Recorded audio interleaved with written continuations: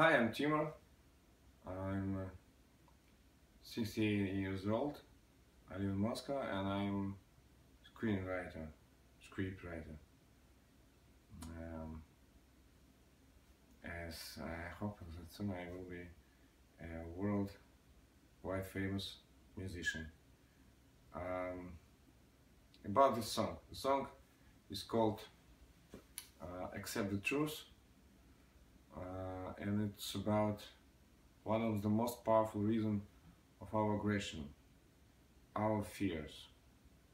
Fears, our fears, are connected to our own internal personal issues, but we translate them, we transpose them to the world around us.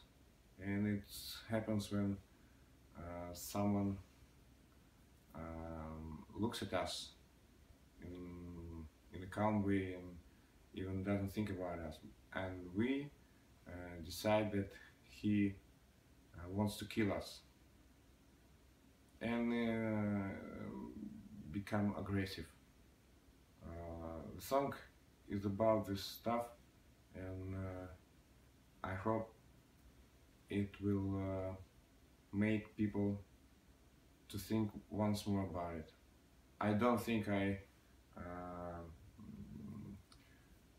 I'm telling something new, but I'm telling one of the most important thing in uh, my own new way.